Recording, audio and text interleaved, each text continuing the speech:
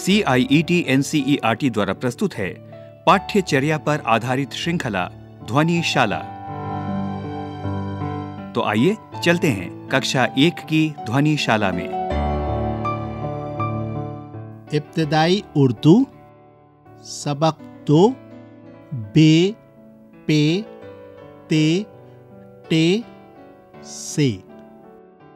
बच्चों, आप जानते हैं कि आवाज़ों को जब हम तहरीर करते हैं तो हमें उन आवाज़ों के लिए कुछ शक्लें मुकर्र करनी पड़ती हैं। जैसे, अ की आवाज़ के लिए हमने एक शक्ल बनाई, जिसको हम अलिफ कहते हैं। इसी तरह से अगर हमें दूसरी कोई आवाज़ ब की आवाज़ है। प की आवाज़ त आवाज़ ब, प, त, ट, स। इन आवाजों के लिए भी हमें कोई शक्ल मुकर्र करनी होगी। तो सबसे पहले हम बात करते हैं बे की। बे नाम है हर्फ का। और उसकी आवाज़ होती है बा बा। आपको वो दुआ याद होगी जिसका उन्वान है बच्चे की दुआ। लब पे आती है दुआ बन के तमन्ना मेरी। ज़िंदगी शम्मा की सूरत हो खुदाया मेरी। है ना याद? लब पे आती है दुआ बन के तमन्ना मेरी। पहला लफ्ज देखिए लब, ल, ब। बा आ रही है ना आवाज़? तो ये ब की आवाज़ अगर हमें तहरीर करनी हो या लिखनी हो तो हम एक बड़ी लकीर खींचते हैं। बड़ी लकीर यानी ऐसी लकीर जो दाएँ से बाएँ जानिब खींची जाए। दाएँ से बाएँ जानिब एक लकीर अगर आप खींचिए तो ये पड़ी लकीर कहलाएगी। इस लकीर को खींचने के बाद हम उसके नीचे एक नुक्ता लगाते हैं। नुक्ता यानी डॉट, बिंदी, जिसको आप कह सकते हैं। ये आवाज़ जो है, जिस हर्फ से या जिस अलामत से ज़ाहिर होती है, उस अलामत का नाम है बे। बे जो है वो बैत से बना है। बैत यानी घर। आपने घर की शक्ल बनाई है। ड्राइंग जब कर रहे होंगे, तब आपने घर की शक्ल ज़रूर बनाई होगी। एक खाका खींचा होगा जे दीवार भी बनाई, उसके बाद उसमें खिड़की बनाई, खिड़की के साथ ही आपने दरवाज़ा भी बनाया। अब अगर आपने दरवाज़ा बनाया तो दरवाजे के बाहर कौन बैठेगा? आप ही बैठे हैं। आप बैठे हुए इंतज़ार कर रहे हैं। तो आप इसकी शक्ल अगर बनाएँगे वहाँ पर तो किस तरह से बनेगी? चलिए, अब अगर हम इसकी कुछ हिस्से को ले लें तो आपको यही सूरत नज़र आएगी, यानी बे की शक्ल। तो हमने बैत से ये हर्फ लिया।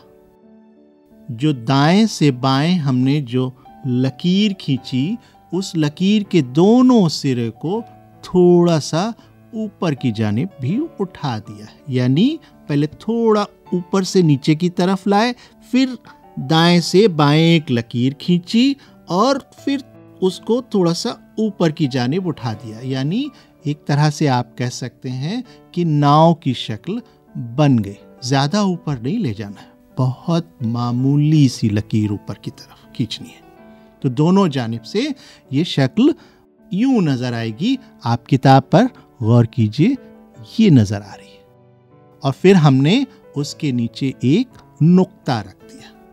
तो ये कहलाया बे। बे इसका नाम है, इसकी आवाज़ ब है।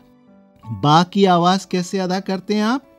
जब आवाजों, यानी हम दोनों होंठ को आपस में मिलाकर हवा को बाहर निकालते हैं तो ब की आवाज़ है। ब। ठीक है? तो ये बे की आवाज़ कहलाएगी। अब बे के लिए हम अलिफ के साथ मिलाएँ तो क्या होगा? बा। बा। बा। बे। अलिफ। बा। दो बार लिखें तो बाबा। बा बा और अगर हम इस बा बा के पहले अलिफ लिख दें तो ये हो जाएगा अबाबा। और अगर सिर्फ़ एक ही लिखें, बा तो अबा। लेकिन अगर हम इसको कहें अलिफ बे, अब बे अलिफ बा तो क्या हुआ? अब बा अब्बा इसी तरह से हम अब्बू भी लिखते अब यहाँ पर दो बार बे को अगर हम लिखें तो ज़्यादा जगह घेरेगी। उस जगह की दूरी से बचने के लिए हम एक ही बार बे को लिखते हैं और उसके ऊपर एक अलामत लगाते हैं, जो तशदीद कहलाती है, जिसका ज़िक्र आप आगे पढ़ेंगे। तो इस तरह से अलिफ, बे, अलिफ अब्बा बे को हम इस तरह से लिखते हैं, और अगर इसी में हम एक नुक्ते के बजाय तीन नुक्ते वहाँ पर लिख दें तो ये हर्फ बन जाएगा पे। बे, पे। यानी इसकी आवाज़ जो है वो प अदा होगी, प। बे की आवाज़, बे। बे की आवाज़, ब। पे की आवाज़, प। अगर यही नुक्ते हम ऊपर लगाएँ, दो नुक्ते ऊपर लगाएँ तो क्या होगा? ते त की आवाज़ ते अलिफ ता बे अलिफ बा पे अलिफ पा ते अलिफ ता और थोड़ा सा आगे बढ़े तो हम देखेंगे कि इसमें नुक्ते की जगह एक और कोई निशान बना दें जिसको हम तोए कहते हैं, छोटी तोय छोटी सी तोय बनाई। तोय की जो निशान बनाए तो ये आवाज़ होगी इसकी अदा ट। यानी इसका नाम है हर्फ का टे। तो कितने हरूफ हो गए आपके पास? बे, पे, ते, टे। आप देखिए, इनकी शक्लें एक जैसी हैं। लेकिन सिर्फ़ नुक्ते का फ़र्क है। नुक्ते की बड़ी अहमियत है। इसको आप हमेशा याद रखिएगा। नुक्ते बहुत ज़रूरी है सही जगह पर होना। आप देख रहे हैं कि पड़ी लकीर सारे हरूफ में है। बे की भी, पे की भी, ते की भी, टे की भी। लेकिन इसके नीचे एक नुक्ता है तीन नुक्ते हैं, ऊपर दो नुक्ते हैं तो एक की अलामत है। इससे क्या हुआ? ये हरूफ अलग अलग हो गए। इन हरूफ की आवाज़ें अलग अलग हो गई। ब, प, त, ट। अगर पे के नीचे तीन नुक्ते थे, अगर तीन नुक्तों को हम नीचे न लगाकर ऊपर लगा दें तो तो ये हो जाएगा से, यानी स की आवाज़ अदा करेगा। तो अब हमारे पास कितने हरूफ हो गए? पाँच। बे, पे, ते, टे, से। इनमें जो फ़र्क है, वो सिर्फ़ नुक्तों के लगाने का है। एक नुक्ता नीचे, तीन नुक्ते नीचे, दो नुक्ते ऊपर, तीन नुक्ते ऊपर। और एक तोय की अलामत के। तो इस तरह से ये अलग अलग हरूफ बन गए। पे की जो आवाज़ है ब, इससे कौन कौन से अल्फाज बन सकते हैं, यानी चीज़ों के नाम लिए जा सकते हैं? बस्ता, बकरी, बात, बाट, पे। पे की आवाज़, प। पतंग। यानी शुरू में जो आवाज़ आ रही है, प की पतंग। पतंग में प की आवाज़ सबसे पहले। पंखा। पर्चा। पानी। ते की आवाज़ त। ताला। तितली। टे की आवाज़ ट। टमाटर। टेलीविज़न। टोकरी। टूटना। और से के लिए स की आवाज़ आती है। स। समर। समर के मानी होते हैं फल। समर। नाम भी होता है समीना। तो अब आपके पास कितने सारे अल्फाज हो गए? ब, बाबा, बात, बाट। पा, पापा, पात, ता ताब, ताप। टा, टाटा, टाट। तो आपने देखा कि ये जो पाँच हरूफ हैं, बे, पे, ते, टे, से, इनकी आवाज़ें कौन कौन सी होती हैं? बे की आवाज़ ब, पे की आवाज़ प, ते की आवाज़ ता, टे की आवाज़ ट। और से की आवाज़ सा। किस तरह से लिखते हैं इसको? हम दाएँ से बाएँ जानिब लकीर को खींचते हैं, पड़ी लकीर। और उसके नीचे एक नुक्ता लगाते हैं तो बे, अगर वही लकीर उसके नीचे तीन नुक्ते लगाए जाए तो पे, और नीचे नुक्ते न लगाकर ऊपर दो नुक्ते रखें तो ते। और अगर छोटी तोय बना दें तो टे। अगर इसी लकीर के ऊपर हम तीन नुक्ते रखें तो ये से बन जाएगा। इसको लिखने की मश्क कीजिए। आइए आपको एक छोटा सा वाक्य सुनाते एक भारी भरकम शेर था। भारी भरकम देखा है? बहुत मोटा ताज़ा। तो एक भारी भरकम शेर था, वो किसी झाड़ी के अंदर छुप कर बैठा था। क्या था? बैठा था छिप कर कोई भेड़िया उधर आ निकला। शेर ने भेड़िए को देखा और देखते ही उस पर हमला कर दिया। और फिर क्या हुआ? भेड़िया मर गया। भेड़िया मर गया। उसने भेड़िए को खा लिया। और क्यों खाया? क्योंकि वो बहुत भूखा था। और जैसे ही उसका पेट भर गया, वो सो गया। सो गया और देर तक सोता रहा। सोने के बाद जैसे ही उसकी आँख खुली तो उसने देखा कि वो तो एक बहुत बड़े जाल के अंदर फंसा हुआ है। जाल देखा है? वो जिसके अंदर बहुत सारे छोटे छोटे काने होते हैं और जिससे हम चीज़ों को ढक देते या छिपा देते तो जाल के अंदर फंसा हुआ था। अब वो बड़ा घबराया, बहुत परेशान हुआ। लेकिन उसको समझ में आ गया कि अब कुछ नहीं हो सकता।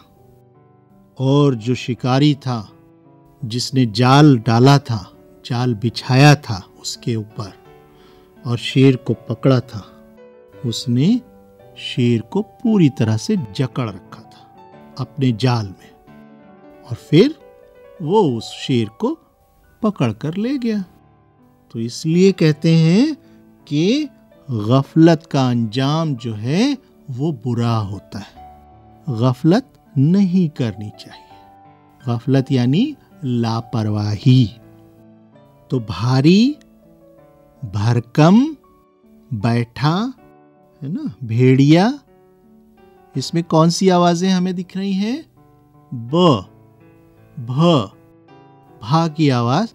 आप आगे पढ़ेंगे, लेकिन ये हर्फ शुरू होता है बे से। बे। तो इसी तरह से आप पे, ते, टे और से से शुरू होने वाले जो अल्फाज हैं, उनको मालूम कीजिए। उनके जुमले बनाइए, अपने दोस्तों को सुनाइए, अपने साथियों के साथ, और उस पर बात कीजिए। अपने घर में भी आप बात कीजिए, अपने अम्मी से, अपने अब्बू से, अपनी बाजी से, दादी से, दादा से, नाना से, नानी से, इन सब लोगों से आप बात कर सकते हैं, पूछ सकते हैं कि टे से शुरू होने वाले कौन कौन से अल्फाज हो सकते हैं, चीज़ों के नाम हो सकते हैं। जैसे, टे किस चीज़ की आवाज़ ज़ाहिर कर रहा है? टर्ज आवाज़ को ज़ाहिर कर रहा है। यानी टमाटर, टेलीविज़न, टेंट। ये आप इसको लिखने की मश कीजिए, इस पर गौर कीजिए, इसको देखिए और चीज़ों को देखिए कि आपके आसपास जो चीज़ें हैं, उसमें पहली आवाज़ कौन सी आ रही है? और वो आवाज़ किस तरह से लिखी जाएगी? यानी उस आवाज़ की तहरीरी सूरत क्या होगी? इस तरह से आप इन हरूफ को अच्छी तरह से जहन नशीन कर लेंगे। आपके आसपास कौन कौन सी चीज़ें हो सकती हैं? बावर्ची खाना है ठीक है? बाथरूम है? बिल्कुल सही। और कौन सा हो सकता है? बेड हो सकता है। पलंग हो सकता है। तकिया हो सकता है। तो कोशिश कीजिए, आपके घर में कौन कौन सी चीज़ें हैं? उनके नाम अपने दोस्तों को बताइए और बताइए कि इसमें जो पहली आवाज़ आ रही है, वो कौन सी है? बे की आवाज़ है पे की आवाज़ है या ते की आवाज़ है या टे की आवाज़ है, इसके लिए आप मश कीजिए। आप नज़मों को देखिए। कौन कौन सी नज़में आपने याद की हैं या सुनी हैं? अपने उस्ताद से कहिए, अपने घर के लोगों से कहिए कि वो आपको ऐसी नज़में सुनाएँ जिसमें इन आवाज़ों का इस्तेमाल किया गया हो। और इसकी तहरीरी सूरत आप देख कर उनको पहचानिए कि इसकी शक्ल यहाँ पर है।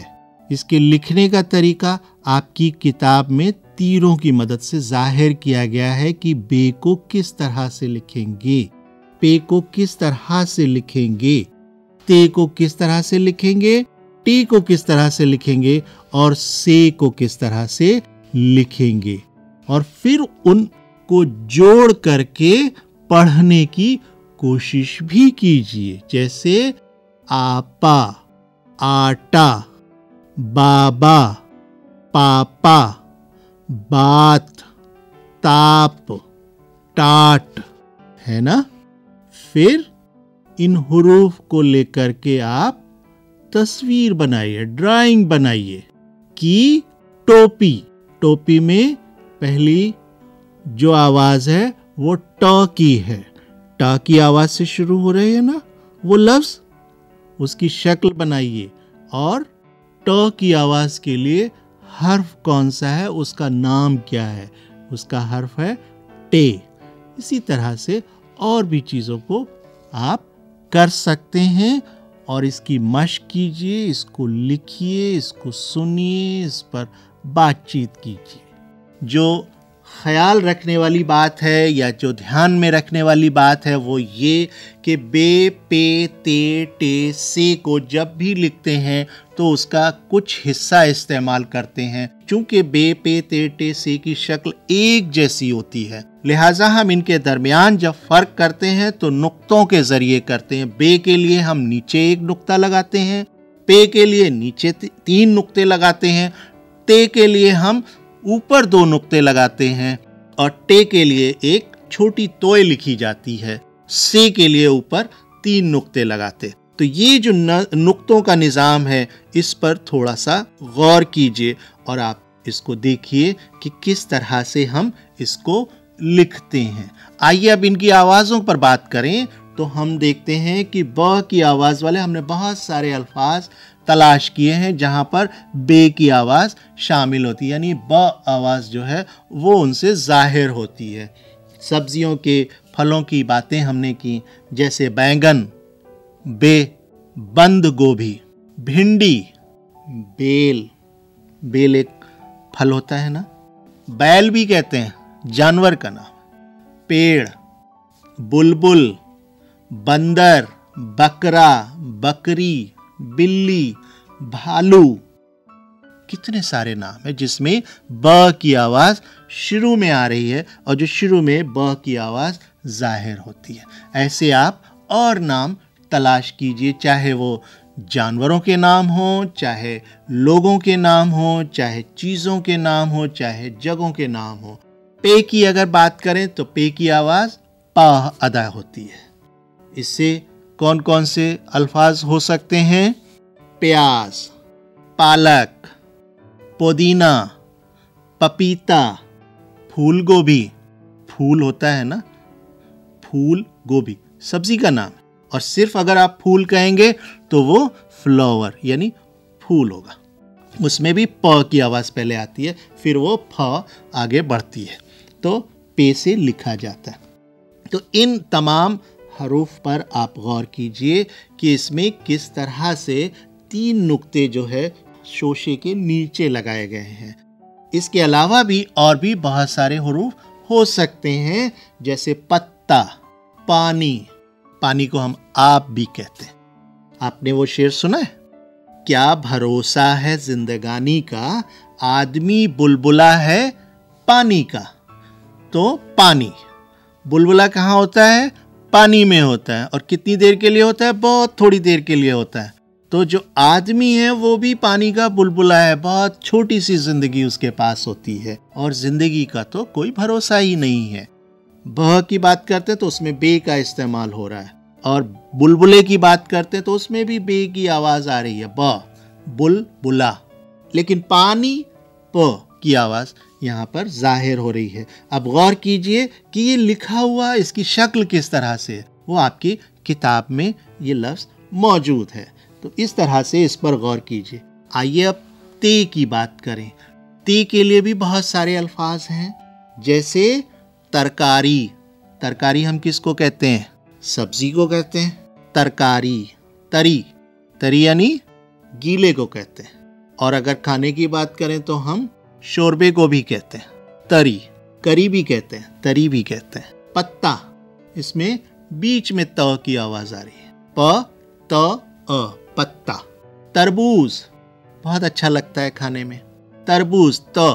तो ये ता, आप इनके अल्फाज पर गौर कीजिए कि देखिए, इनमें जो शक्ल बनी है ते की, उसमें उसमें दो नुक्ते इस्तेमाल किए गए हैं, त के लिए। ट यानी टे। टे की आवाज़ ट।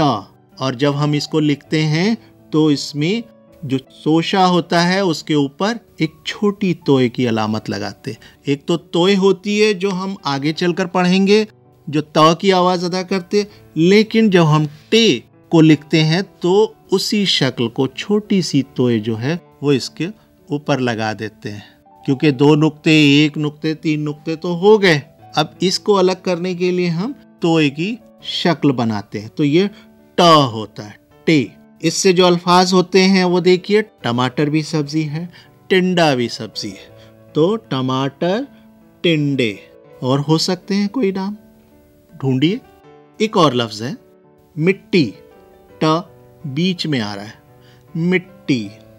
उठी, चटियल एक लफ्ज है, चटियल। कहते ना, चटियल मैदान। ऐसा मैदान जहाँ पर कोई भी हरियाली ना हो या कोई भी घास, दरख्त, कुछ भी ना हो, वो चटियल मैदान कहते हैं, चट्टल, चट्टान से बना है। और आखिर में एक हर्फ आता है, वो है से। से यानी स की आवाज़ इससे अदा होती है। इसको जब लिखते हैं तो हम तीन नुक्ते लगाते हैं। तीन नुक्ते कहाँ लगाते हैं? ऊपर लगाते हैं। सोशे के ऊपर तीन नुक्ते। लफ्ज इससे बन सकता है समर। मिसाल, सौ की आवाज़ दरमियान में आ रही है। और भी बहुत सारे अल्फाज हैं। मुश्किल अल्फाज भी हैं। शकील सौ शुरू में आ रहा है। तो ये बे, पे ते टे और से हरूफ की बात हुई कि इनकी शक्लें किस तरह से होती हैं और इनको लिखा किस तरह से जाता है।